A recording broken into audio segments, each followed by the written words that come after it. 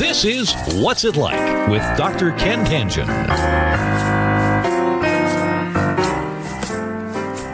Hi, I'm Ken Tangen. My guest is Anthony Stauffer. You know him, of course, from the Frozen Food family. Yeah. or do you get that a lot? Uh, once in a while. Actually, Anthony knows a lot more about guitars than he does frozen food. I was a bachelor for many years. Don't pay, don't put any bets on that. or or maybe both areas of expertise. And he teaches guitar. How many videos do, have you actually made now? if you add up all of the free ones uh, and all the premium ones, it's probably getting close to 160 or 170. Wow, that's a lot. Yeah, I've been busy. Yeah, I guess so. You started off not, I assume, playing guitar. You must have learned it at one point in time. Yeah, I uh, well, I was a musician my whole life because in my family there wasn't really any choice. So did piano as a kid and then taught myself to play drums, but I didn't really touch guitar until uh, I was a senior in high school. it's the strangest story. A friend needed to borrow some money, so as collateral, I took his electric guitar and amp for a couple of months, and uh, had no idea what I was doing. Uh, but I really fell in love with it for the few months that I had it. So then, when it came time for graduation, and my parents were going to buy me a graduation gift, they ended up just buying back this guitar and amplifier that I returned to them. and so that's kind of how it started. Is uh, Wow. is loan sharking, and that's that's how I got into playing guitar. But I was a senior in high school, and then I spent my whole college years learning how to play. So Where did you grow up? I grew up in good old Manheim, Pennsylvania, which is right in the middle of Lancaster County. Lancaster County. All I know is farm country. It's a farm country and tourist trap because everybody Ah. likes to come see the Amish people. So, So you were not part of the Amish. uh, no, we were a few steps removed.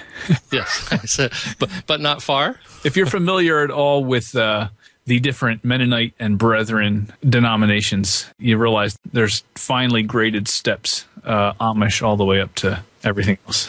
I see. So you're more Amish light. If you want to call it that. So what was your childhood like? Well, uh, my dad was a car mechanic, and my mom was a stay-at-home mom. At least while we were young, um, we lived. Uh, we lived in the middle of a little town for a while, and then when I was about ten, we moved to a farmhouse. So I grew up in farmland. I worked on a farm when I was like twelve years old on a pig farm. Uh, so really, really uh, blue collar, not industrial, but more agricultural musically, we all, you know, my mom was a music teacher before she was a stay at home mom. Uh, they were always the music leaders at our church. Uh, so we all took piano lessons. We didn't, I wouldn't want to say we didn't have a choice, uh, but it was just, that's just something we did. So, uh, we were always singing together, both with my family and then with my extended family whenever we'd get together, uh, for family gatherings. So music all the time, not a whole lot of rock and roll mm-hmm. in any way, shape, or form. You learned to sing parts at a young age. Oh yeah, Men- Mennonites do four part mm-hmm. harmony as good as anybody. you learn the the note shapes Yes. in, in the hymn books. Oh my. yeah. The Northerners and the Southerners all agree on that. The Yes. shape note version of it. Yep. So, did you have a favorite childhood possession? Depends which year you asked me. Uh, I was heavily into baseball from the ages of like two until until we moved towns, and then I couldn't play anymore because there was no team within driving distance. Uh, so probably my baseball bat and mitt because I was a pretty serious baseball player in elementary school. Aha. Home run handle was my nickname in the T-ball league.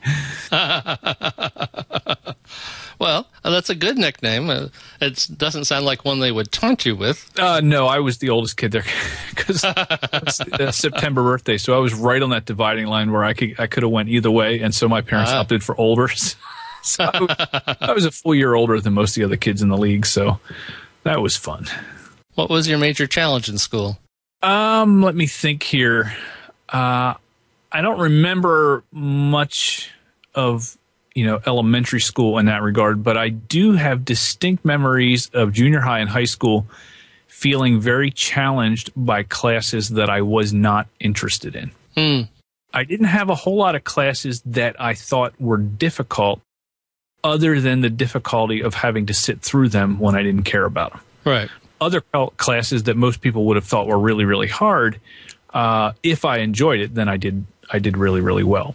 But boredom was a big a big obstacle to my grade point average. Aside from the fact that nobody explained to me what GPA was and how it could possibly affect your entrance to college. So I, I was in all the level one classes, and while my friends were worrying about not getting a 4.0, I hadn't even started thinking about my GPA till I was a senior. Come to realize that all of these people around me had been watching their grades, and I had just been kind of taking school as it came to me. I was a little late to that party. Well, very zen of you. Yeah. Take it as it comes. What did you do after high school? Well, uh, pretty much solely due to my mom's persistent prodding, I went to Penn State University. Uh, and I mean it where, when I say that I wasn't thinking about it all. Literally, she filled out all the scholarship applications, and I only went to see my guidance counselor because she, you know, somehow, even though she didn't go to college, I know she had wanted to, and, and my dad didn't go to college. She had this idea in her mind that her kids had to go to college. And so, literally, my whole junior year, which I guess is the year you're supposed to do that, she's constantly talking about school. And my decision about where to go to school was literally decided in one conversation when I told somebody that I liked to take apart electronics. it was my high school physics teacher. He said, uh, I think he said his son goes to Penn State and they've got a good electrical engineering program. I was like, all right, well, I'll go there. So for some reason, I'm not sure how it happened, but that was the only place that I applied. And uh, And got in. I got assigned to a branch campus, but uh, I don't know how she did it. My mom made a phone call and gave him a sob story about how all my friends were going to University Park, and it would be terrible if I couldn't go. So I switched to undecided uh, instead of electrical engineering right away, and I got to go to University Park. And then a semester later, I was in the engineering program. So, so yeah. when I uh, to paint a picture of a guy who's going through high school not thinking about the future at all, that that was me. Not that I w- didn't work hard at school, but I had no vision of anything past high school, and it's only because of the, you know, uh, urging of my mom that I even thought about it. So, Engineering seems like a kind of a competitive area. uh, I came to find that out. Fortunately for me, I was uh, I was interested in almost everything engineering related that I had to study when I got to school, and by some stroke of luck, calculus was something that my brain seemed wired to do. So, the classes that some people hit a wall with, uh, I had them in high school and did well, and then did poorly enough on my entrance exams that I got to take them again, which resulted in an easy A my freshman year of college. um, but it got really competitive my junior year because that's when you hit the real serious electrical engineering stuff. And uh, then I ran into the same problems that I had in high school, where the classes that I enjoyed, I did really well in, but the classes that I found boring or I wasn't intellectually invested in were very challenging to get through. Uh, it was just challenging to find the motivation to do that work instead of play guitar. And did you finish college? Oh yeah, four years. I, I, I think I was blissfully unaware of how treacherous college can be for some people, and so the idea of going an extra year, uh, whether it be because of the extra money or whatever, it just wasn't an option. And uh, unlike some people, there was no question in my mind what I was going to get my major in. I mean, I, I still talk to kids today who get to the third year of college and still trying to figure out what they wanted to do with their life. And I didn't know if I was going to play guitar for a living, but I knew if I didn't, I was going to do something with engineering because I enjoyed it. So even from my freshman year, there was no question about am I going to switch majors? Am I? Gonna, I mean that those things never even came up in college. So I didn't have any of that uh, angst that some people have in deciding what you want to do with your life. Uh, it was more or less just get through it. Now, my senior year, I had a, a pretty bad case of senioritis, and I just wanted to get out of there. But uh, there was, yeah, there was no danger of going an extra year or anything like that because it, it wasn't a mystery, you know, how I was going to finish. Now that you've survived childhood, what constitutes family for you? Well, I'm married and I have a two year old son. So after I graduated college, uh, I was a bachelor here in town for a while. I ended up getting a job that I found out about the last day of classes of my senior year of college. So that's yet another example of somebody not, not thinking about the future. Everybody else was polishing their resumes and going to job seminars, and I was still trying to come to terms with whether or not I wanted to go work for the man because uh, I fancied myself a rebel musician. Uh, but then uh, found out about a job the last day of classes my senior year. Ended up getting interview and an offer, and two weeks later. And so then I just stayed in town. A couple years later, found a new church. Two years later, I met the girl who would become my wife, and now we're married. Have a house here. She works at Penn State, and I've got a little two-year-old toddler baby boy that keeps me quite busy. I bet. So yeah, that's my family. Oh, my parents live up here now too, so I've oh, got how nice. closer. So, so what's it like being a father? Uh, the best way that I can think to describe it to to somebody who hasn't done it is that uh, depending on your level of experience with children, and in my case was almost none, it will stretch you emotionally beyond what you've ever experienced in every way possible. so you will feel things both positive and challenging uh, on a much deeper level than you've felt about anything else. and so, I mean, really, it makes you a, a much wider person than you were before because you're capable of things that previously you you wouldn't have been able to tolerate. But also, the reward for that is you get to feel things for your child that you've never felt, you know, for another human being before. Mm-hmm. Um, so it's just a giant stretching process for me. Um, and so I, you know, like one of my coworkers told me, you sometimes you just have to remember the good times. well, even when you, even when your children are being difficult, you know, he was saying that remember remember the times that they were the cutest they've ever been, and that will help you get through those times when they're more challenging than you could have ever imagined. this is a terrible segue, but it seems like it is a, a stretch to go from electrical engineering to playing guitar. Yeah, I would agree that it seems like a stretch. and the the only way that I can reconcile it is that um, for me and the style of guitar that I like, uh, music is a very two faced thing for me. On one hand, it's a great outlet uh, emotionally uh, because I've even when I was a kid, I was always one of those people that you know, my emotions were all on, you know, I was just, I was not reserved. You know, my mom wrote in her journal when I was two years old that I did everything that I did with great gusto.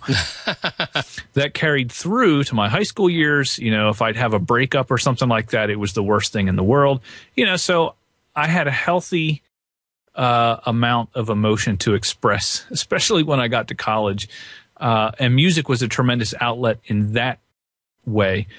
But on an engineering angle, the style of music that I played, I, I mainly studied the playing of Stevie Ray Vaughan and, and to some extent Jimi Hendrix and Albert King. And I found the actual mechanics of their playing very, very mathematical. Hmm. And I didn't approach it at all from a music theory perspective. I mean, I remembered basic music theory from my childhood, and so I was able to find my way around the songs but I wasn't thinking about, oh, is he playing this scale or that scale? I was seeing like little licks here and there that combined almost like an equation to form a larger lick. So even though it was this really, really expressive thing, uh, it was almost like an engineering problem to me to figure out how to learn some of this stuff because I knew if I just learned the underlying principles in the parts, I'd be able to replicate it. So um, it sounds so terribly uh, unartistic, if that's even a word, to talk about music that way.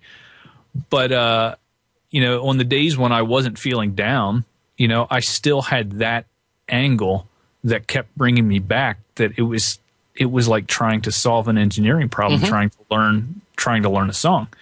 Um, so in that regard, it's not it's not too much of a stretch to me. Yeah. So what exactly do you do? Uh, well, I run a website called steviesnacks.com.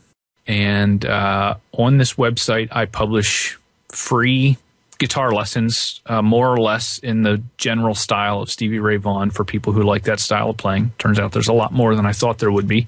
And Stevie Ray Vaughan is. He was a, a blues guitarist who came into his own around 1983 uh, at a time when the blues was kind of hurting. And he was this skinny white kid from Texas who played his heart out and kind of ignited a revival around the blues. And he burned fast and short, and his career took off. He won a Grammy, and then he died tragically in 1990 in a helicopter crash. And uh, his legend has only continued to get bigger. Mm. Uh, and as I found out in the years I've been running Stevie Snacks, that there are literally there are kids in Eastern Europe sitting in their bedrooms trying to play like Stevie Ray Vaughan. It's the, there are kids in India playing their guitars, trying to play the blues like Stevie Ray Vaughan. It's the it's the most bizarre thing in the world to think about. Um, but anyway, that's what grabbed a hold of me in college, and so that's kind of what I do. And then to earn income, basically, aside from the free lessons, I put a lot of time and energy into planning more in depth premium lesson series that cover more conceptual things or things that take longer to explain.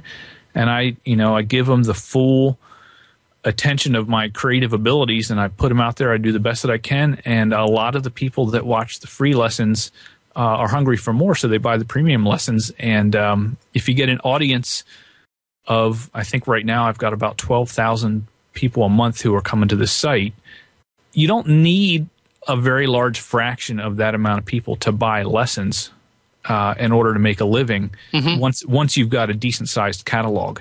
Right. And so now I've got a couple hundred dollars worth of premium lessons that people can pick from.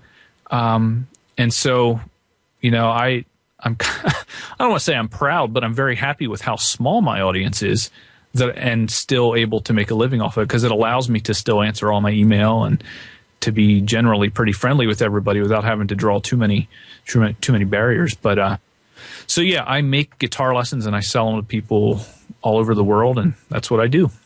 How many different styles of blues guitar are there? They tend to blend together the longer the blues goes on, but if you really trace them back, uh, got the Delta blues, Chicago blues, Texas blues, I would say three or four major ones, but then they've just continued to get blended as the years go on, and then people start taking various styles of blues and mixing them with rock. So then you've got blues rock, and so it's really it's a it's a very diverse landscape of music, uh, much to the dismay of certain purists. but yeah, there's a lot there's a lot to listen to. Stevie Ray Vaughan was considered kind of the uh, I don't want to say the epitome, but one of the signature sounds of Texas style blues. That's where he was from. So the style of blues differs in terms of the chordal structure, the rhythms. What parts of it are really different? And see, this is this is pushing the limits of my uh, blues history knowledge because I'm not. I, I've never pretended to be a blues historian, but swing style blues, swing beat blues is is common in a lot of different kinds of blues, but the general feel of the rhythm will be different from like Chicago to Texas blues. Uh, and then in some styles of blues, like the um, maybe the guitar is emphasized more or the harmonica is emphasized more. Uh, and then Delta blues is more associated with slide guitar, uh, sometimes acoustic and so yeah, it's uh, I think in almost every major style of blues there is the 12 bar structure even though there is 8 bar blues and then you get some of the older blues musicians who didn't adhere religiously to any bar structure. I mean i can't even imagine what it was like to try and play with some of those guys because you know it literally seemed like they changed chords when they felt like it. Right. Um, and you just kind of had to feel it coming. Uh, but the general 12 bar blues structure is something that I think that you'll hear pretty commonly throughout a lot of different styles of blues. It's just that, you know, what, in, what instruments are featured and the general feel of the song. I know it's very abstract, but. What's the best thing about your job? The best thing about my job by far is that I get to work on something that uses nearly every creative skill that I have, both in running the business and creating the premium lessons. There was a whole decade of learning that I went through at my job at a at a software company where I learned a ton of new skills, and uh, not all of them seemed very related. But when I started making the guitar lessons, all of a sudden, all of my recording, all of my video editing, graphic design, web design, all of those skills came into focus all at once. And being somebody who struggled with boredom as a kid, like I talked about in school, was very hard for me at my job to focus on tasks where I didn't have that spark that, that kept me interested. So when I started doing the guitar lessons, I, I don't love to teach every subject, but that, that mathematical thing of breaking down this style of playing into little – finite pieces and showing people how they fit together. I could literally do that every day. And so to be able to make my living where basically people are sitting there waiting for the next premium series I put out because they like how I'm able to take something and break it down into pieces and show them how they fit together. And then to be able to use all these technical uh, skills like recording and video editing and and then teaching you know, all together, it's tremendously rewarding from a creative perspective to be able to pour your heart and soul into something that you thoroughly enjoy making. And then on top of that, it brings a lot of joy to the people who end up buying it. And then even the stuff that's free that I don't make money directly on the free lessons. Boy, what a great way to end a week. I do this thing called Free Lesson Friday where I'll take, it usually takes me about an hour or two, sometimes three, depending on how long the lesson is. I'll take like two or three hours on a Friday and I'll shoot a free lesson and I'll try and get it out by four or five in the evening. And uh, a thousand people watch that in the first day, both on YouTube and, and on my site and everything. And what a great way to be able to end a week to to use skills that you love doing to make something that is going to make a lot of people happy. So it's just tremendously rewarding to be able to do creative work that's appreciated by people. That's very practical training. They learn a skill by watching you show them demonstrate how to do it. Yeah. What has surprised you the most? The things that have surprised me the most about this since I started was the kinds of things you have to learn when you start charging money for stuff.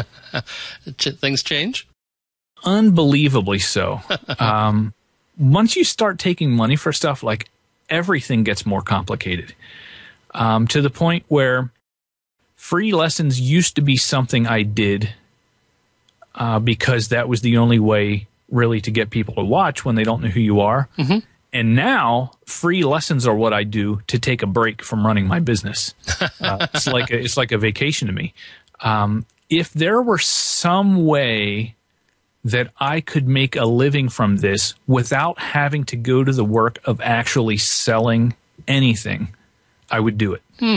Uh, because I've had to learn more things about the mechanics of selling something, especially large files in great quantities. I've had to learn and go jump through so many hoops because there's no established systems really designed to do what I need to do on the scale that I'm doing. And so I've kind of had to roll my own solution in many ways, hacked together with a couple of different services.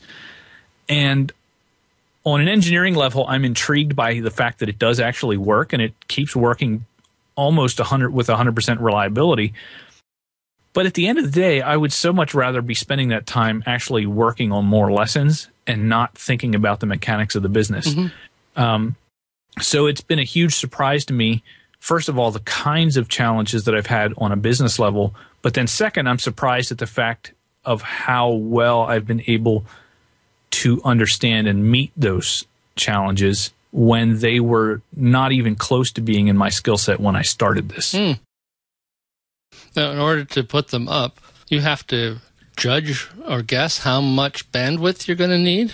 It seems like a difficult process. Uh, thankfully, I'm at the point now where the system that I have, the bandwidth that gets used when somebody buys lessons is fairly cheap. Uh, so all told, my storage and bandwidth in a given month is less than I want to say two hundred dollars. That's pretty good. Um, yeah, that's pretty good in the grand scheme of things. Mm-hmm. and that's because I have a pretty high dollar per megabyte ratio, I think. Uh, whereas you think about something like somebody who's doing a video podcast where they're putting it out in HD resolution, if they do a half hour podcast and they compress it with nice quality, that could be like a gigabyte worth of data. And if they put that out there and 5,000 people download it, they've got to pay for all that bandwidth for free. Yes. You know, they've got to pay for this. They're not getting any money on that unless they're selling Right. ads. Whereas I'm not paying for any bandwidth that's not being paid for by somebody buying something. Right. Uh, now, it was still a problem to figure out a way how to literally sell this many videos and this much data without literally spending $1,000 a month. Because if I went with any one single canned solution, uh, they they charge an arm and a leg for storage and bandwidth, unnecessarily so, in my opinion, based on what it what I now know it actually costs. You're using multiple hosting sites then? I have a shopping cart that uh, handles all the transactions and that connects to a storage service where I keep all my lessons. And so when somebody buys something, they go to the download page on my shopping cart and it is retrieving information from my download service. And so I'm paying separately for the cart and for the download storage and, and delivery. If I wanted a solution that combined those things, I would pay more than three times what I'm paying now. Wow. Uh, but to, what I have to do in order to save that money is now I've got not one but two systems to keep track of. Right. It's it's more flexible this way. So it's that's the kind of thing. Like I would have. I would have three years ago. I would not have even understood what I'm talking about right now. uh, but I had been through this process so many times of trying to figure out the best way to to simply sell my lessons. Um, I can talk about it almost in my sleep now. That's not a skill I necessarily wanted, but that's something that has happened as a result of running this business for three years. We'll have more with Anthony Stauffer right after I remind you of the good work being done by St. Jude's.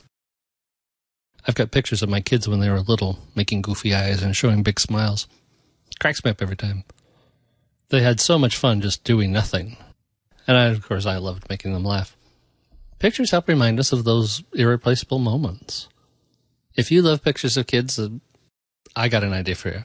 Go to stjudes.org, S-T-J-U-D-E dot org, and look at the bottom right hand side of the homepage. This is the site for St. Jude Children's Research Hospital, and the picture is their patient of the month. Every month you'll see a great picture. They always remind me of my kids and of my little brother.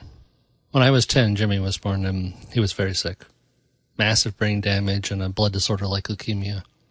Many hours and lots of prayer went into his care. Terrible pain. But the moments I remember are the happy moments and his big smiles. There was no St. Jude's at the time, but there is now. When you go to the site and you're looking at the pictures of the kids, it's their happy moments that you'll remember. It's a positive experience. As long as you're there, click on the donate button. It costs over a million dollars a day to operate St. Jude's. Don't worry, I'm not asking you to give the whole amount. I'm just asking you to chip in. So go to stjude.org. I also added St. Jude's to my Facebook page. After all, how could anyone not like St. Jude's? So, Anthony, everyone has to give themselves a kick in the pants occasionally. How do you do it? Well, a healthy fear of not selling any lessons helps. yeah, so that I, I'm not going to lie. That's one thing that sometimes has got given me a kick in the pants to to keep working. Is that hey, you don't know if people are going to want to buy the old lessons today. But I think one of the things that helps give me a kick in the pants to not just sit around and watch TV all day because you know, if I'm to be honest with myself, there's a certain period of time in which I could do literally nothing if I didn't want to, and I'd still sell my old lessons enough to, to make a living. Uh, I, that wouldn't last indefinitely, I don't think, but um, there would certainly be opportunity for me to slack off and to not face immediate consequences for that. Uh, why don't I do that? I think deep inside, I feel that it is my responsibility to be a good steward with the opportunity that I've been given. So I think maybe it was Jacques Cousteau or somebody said, a man who has an opportunity to live an extraordinary life has no right to keep it to himself. That saying has stuck with me because here I am getting the opportunity to do something that I love immensely and being supported by a bunch of great people who are extremely thankful and, and great cheerleaders for it. And I have so much more that I haven't even had a chance to try and teach yet. I just feel like for me to just, not that I'm against taking a break because I think rest is very important, but being lazy, the thing that I, that gets me when I even think about being lazy is that there are other people who may never have the chance to enjoy what they do as much as I am enjoying what I do right now. And I don't want to be a bad steward of that opportunity. I'm sure there will be other people who come along who teach this same style better than I do, but I don't know when that will happen. Right now, I think I'm the only person who teaches this general style exclusively. Um, so it's not hyperbole to say that right now I think I'm doing specifically what I do as good as anyone else that's out there. Mainly, but I you know I can't do much out. I can't hardly do anything outside of that. But for my limited focus, I think I'm doing that as well as anybody. What if no one else comes along and does this same thing? Mm-hmm. All of the things that I could have taught will not get taught. Uh, and so I feel not pressure, but I feel a great opportunity to do something that has never been done before. And on the days when I'm thinking about uh, just being lazy, like that prevents me from having a bad week. I may have a, a couple of days where, oh, I just can't get anything done. I can't focus, you know but I never have a bad week Hmm. because that opportunity seems so large on the horizon compared to what I ever thought possible. It it seems to have its own gravity. it drags me towards it. Let me turn the question around.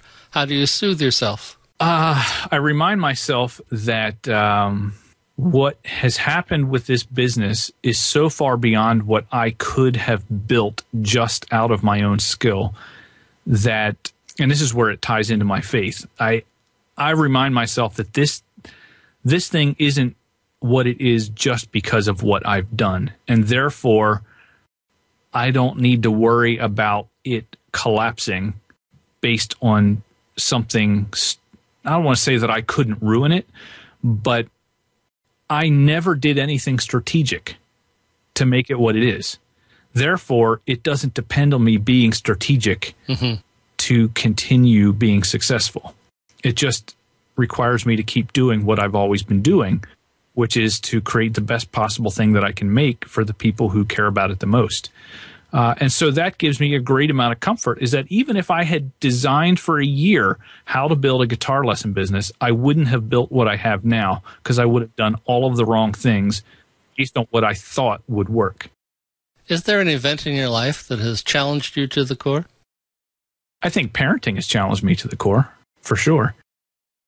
Yeah, in some ways, parenting has has been one of the biggest challenges I've ever had. It's also been the most rewarding, uh, but I'd be lying if I said it wasn't also one of the most challenging things as well. Um, my dad had cancer, uh, which was a a huge challenge. I mean, he's still alive, thank God, uh, and it, it uh, you know it reoccurred a couple of times, um, and so that um, that was really surreal. And I don't know that, you know, from a psychology perspective, I'm sure I had a whole recipe of defense mechanisms that kicked in. Because there are parts of years after I found out about that that I, I don't remember. Uh, I just feel like some, in some cases, I kind of emotionally checked out. Um, so yeah, I, I think that that was definitely one of those cases. Um, being worried about my my dad dying, you know, was a very challenging thing. If you were giving a commencement address for high school or college, what would you say? What would be your best advice? I would tell people sounds kind of cliche, but you've got to find a balance between doing what is smart and following your passion. Because as much as I like teaching guitar lessons and all the stuff that goes into this business that work, I also like playing video games. you could say it's a passion of mine, but it's not very smart to do that all day. Right. And so sometimes you'll hear people say, you just follow your dreams. Well, you know what? If your dream is to play computer games all day and you're not interested in programming, then that's not very smart and that would be terrible advice for you to follow. So I think what I would say is in your life, you are going to have things that are true passions and you're going to have things that are pleasurable distractions. And you want to enjoy both, but you want to put your time into the things that you're passionate about because in the long run, if anything is actually going to be successful, there's probably going to be a period where you need to do it without seeing any kind of reward. Mm-hmm. And the things that you're passionate about are the only things that you're going to be able to keep doing through that period without burning out. Um, and so nothing that has happened with Stevie Snacks has been because I put my nose to the grindstone or, or whatever the expression is. Um, it's just stuff that I'm passionate about that I want to do every single day. And even before I started it, when I was at my job, the reason I changed positions four times inside the same company was because I kept having different passions. You know, first it was a passion for programming. So I taught myself programming and did that for several years. Then I had a passion for graphic design. So I started doing graphic design for them. Then I had a passion for user interface design. And I'm fortunate I was at a company that needed all of those things. So I got to change. But uh, I just followed what seemed to resonate the strongest in me. And I followed it sprinting, you know, um, and a healthy amount of video games along the way, you know. But, but I always knew that some things are meant for pleasure and some things are meant for purpose, I guess, mm-hmm. lack of a better term. And if you confuse the two, you can wind up very, very sorry. the last question is to help me get better at this process. If you think of a, a story in your life that uh, we haven't talked about, what question should I have asked to get you to tell that story? Oh, let's see here. Okay, well, the one part thing we didn't really talk about that I find not many people think to ask about is what kinds of things happened in the years leading up to this business starting that made it work as well as it did once I did start. I find that people look at the end result. Mm-hmm. And if you look at the end result, it seems like unbelievably like that's just impossible. But if you looked at the 10 years before that, you would have seen a guy who, for some reason, was obsessed with video compression, who was figuring out the best way to make videos look good with the smallest file sizes. I had no idea why that was something I even cared about. Uh, but 10 years of that kind of unrelated technical skills, just being obsessed with it, is what made this thing hit the ground running when I started. And so, what you could have asked to get to that story would have been something like tell me what it was like seeing something start as a hobby and turn into a business and how oh boy see i'm terrible at being you so anthony tell me what it was like to see a hobby turn into a business well ken uh, but no, yeah, that's that's something that I'm very fascinated with. I find that not maybe not as many people are as fascinated by it as I am. Uh, but the most interesting thing about Stevie Snacks to me is that none of it was a plan. It was just me trying something out because I thought it would be interesting to do, and then it just kind of took off from there. And after it took off, that kind of put the previous ten years into focus. Mm-hmm. Uh, I finally understood why I was inter- interested in all the things that I was interested in, and getting to use them all in the same on, in the one focus was was greatly rewarding. So, in many ways, my life did not make very much sense until I turned, um, I guess, thirty three, when this whole thing started. Most patterns are like that. You can't see them until after yep. the pattern is complete. So, how did you pick the name Stevie Snack? Oh man, uh, well, my wife was traveling a lot at that point, and so I was home by myself sometimes for weekends or a week at a time while she was at different conferences. And so this whole thing started out of boredom pretty much. Um, and so I put them up, and I realized that I needed to come up with a name. Uh, and so I'm not even sure how it occurred to me, but the name Stevie Snacks came to my mind, and the idea being they would be short, Mm-hmm. bite-sized lessons in the style of Stevie Ray Vaughan. And so I, Stevie Snacks, and it's kind of like Scooby Snacks, and from the old cartoon or whatever. Um, and so I did it kind of as a joke, but then literally within three months, there were enough people watching the lessons that when I asked about changing the name, it was, there was almost a hundred percent. Already set, huh? Yeah, there's no way. Dude. Like you have to keep it. And so now, what I tell people is like, it's a name that sounds great when something is just an idea in your head. You have no plans for but it, three years later, when it's a full fledged business, and you have to explain to somebody what your website's called. Uh, I said it's one of those decisions that you look back on and just wish that you had planned a little better. But who knows? You know, maybe if it wasn't something as catchy or as silly as that, you know, maybe people wouldn't have remembered it. So Yeah. I'm not complaining. Once you learn it, it's hard to unlearn it. Yeah. So it works well. It's in your head. That's right. Well, thank you so much. I want to thank Anthony Stauffer for joining me today. I really appreciate it. Thanks. Thank you very much.